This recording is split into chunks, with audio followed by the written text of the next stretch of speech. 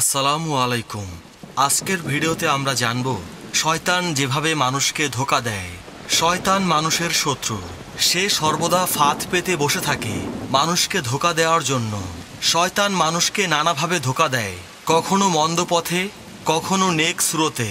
শয়তান মন্দ কাজ দৃষ্টি নন্দন করে মানুষের সামনে উপস্থাপন করে।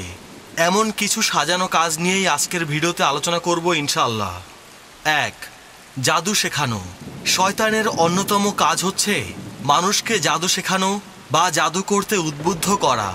এটা অনেকের কাছে উপভোগ্য। জাদুবিদ্যার মাধ্যমে শয়তান মানুষকে ধোকা দেয়। পবিত্র কোরআনে আল্লাহ পাক ইরশাদ করেছেন, আর তারা অর্থাৎ বনি ইসরায়েল, সুলাইমান আলহিসাল্লামের শাসনামলে শয়তানরা যা কিছু মন্ত্র পড়ত, তার পেছনে পড়ে গেল।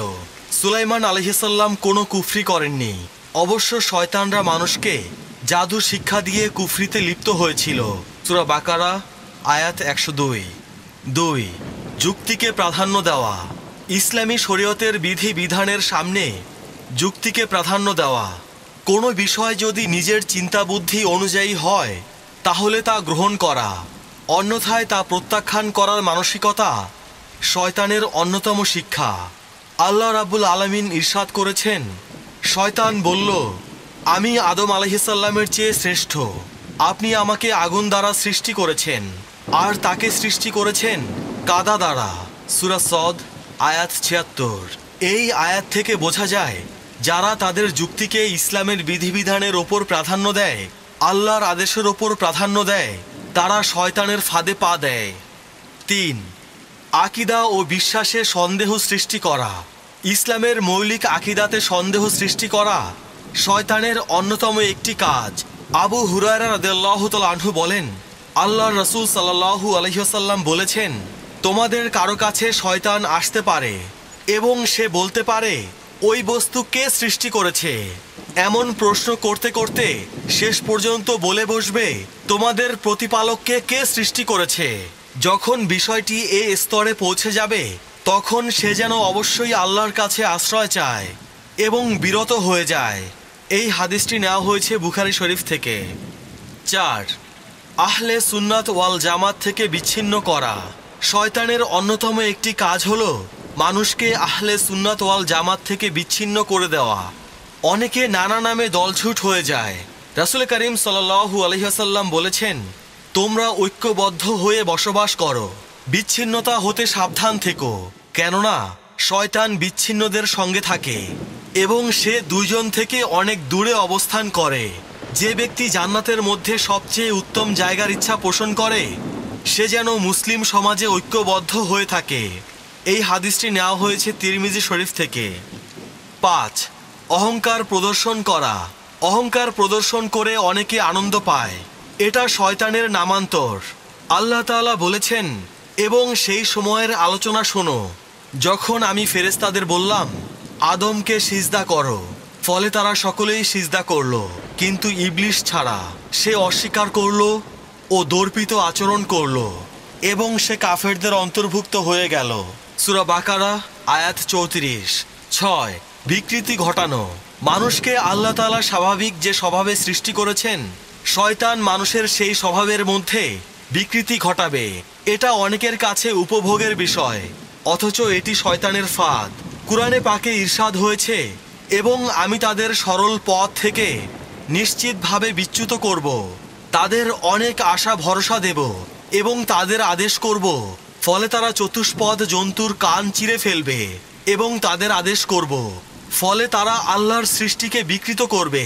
যে ব্যক্তি আল্লাহর পরিবর্তে শয়তানকে বন্ধু বানায়, সে স্পষ্ট লোকসানের মধ্যে পড়ে যায়। সুরা নিসা আয়াত একশো উনিশ। সাত, মিথ্যাকে সুসজ্জিত করা। এটা শয়তানের বড় একটা কুটচাল। সে মিথ্যা ও ভ্রান্ত জিনিসকে অনেক সুসজ্জিত করে উপস্থাপন করবে। সে ভ্রান্ত জিনিসকে এমনভাবে উপস্থাপন করবে মনে হবে, এটাই মানুষের জন্য কল্যাণকর। পবিত্র কোরআনে হুদ হুদ পাখির ভাষায় এসেছে, আমি সেই নারী ও তার সম্প্রদায়কে দেখেছি, আল্লাহর পরিবর্তে সূর্যকে সিজদা করতে। শয়তান তাদের কাছে তাদের কার্যকলাপকে শোভনীয় করে দেখিয়েছে।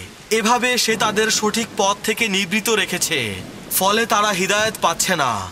সুরা নামাল, আয়াত চব্বিশ। আট, অহেতুক ঝগড়া করা। কোনো ধরনের দলিল প্রমাণ ছাড়া ঝগড়া আর লড়াই করা শয়তানের বৈশিষ্ট্য। কিছু মানুষ এমন কাজে সিদ্ধহস্ত। আল্লাহ তালা বলেছেন, কিছু মানুষ অজ্ঞানতা বশত আল্লাহ সম্পর্কে বিতর্ক করে এবং প্রত্যেক অবাধ্য শয়তানের অনুসরণ করে। সুরহাজ আয়াত তিন। নয়, ফজরের সময় ঘুমিয়ে থাকা। ফজরের সময় নামাজিকে ঘুমিয়ে রাখাও শয়তানের বড় একটি কাজ। এজন্য প্রয়োজন এই সময় শয়তানের বিষয়ে সজাগ দৃষ্টি রাখা। তেমনি জামাতের সঙ্গে নামাজ আদায় না করাও শয়তানের কারসাজি। আবদুল্লাহ ইবনে মাসুদ রাদেল্লাহ আনহু বলেন একজন ব্যক্তি সম্পর্কে রাসুল করিম সাল্লাহু আলহিসাল্লামের কাছে বলা হলো, সে সকাল পর্যন্ত ঘুমিয়ে কাটায়, অর্থাৎ রাতে উঠে তাহাজ্জুদ পড়ে না। এ কথা শুনে রাসুল করিম সাল্লাহু আলহিসাল্লাম বললেন, ওই লোকটি এমন যার কানে শয়তান পেশাব করে দিয়েছে। এই হাদিসটি নেওয়া হয়েছে মুসলিম শরীফ থেকে। দশ, নামাজে অহেতুক কাজ করা। আবদুল্লাহ ইবনে ওমর রাদেল্লাহ তালাহু থেকে বর্ণিত, তিনি এক ব্যক্তিকে দেখলেন সে নামাজে থাকা অবস্থায় তার হাত দ্বারা পাথরের টুকরা নাড়ছে। তার নামাজ শেষ হলে তাকে আবদুল্লাহ রাদেল্লাহ বললেন, তুমি নামাজে থাকা অবস্থায় পাথরের টুকরো নেরো না, কেননা তা শয়তানের কাজ। এই হাদিসটি নেওয়া হয়েছে নাসাই থেকে।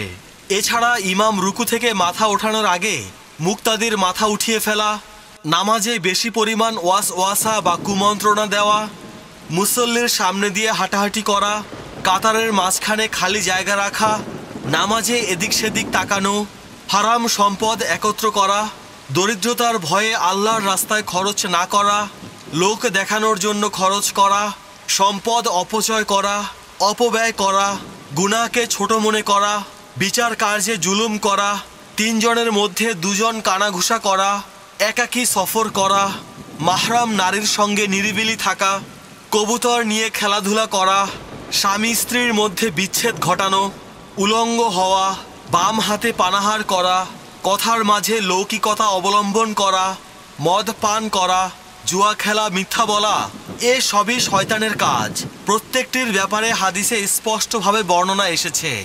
আল্লাহ রাব্বুল আলামিন আমাদেরকে শয়তানের হাত থেকে রক্ষা করুন। আমিন। আজকের ভিডিও এ পর্যন্তই।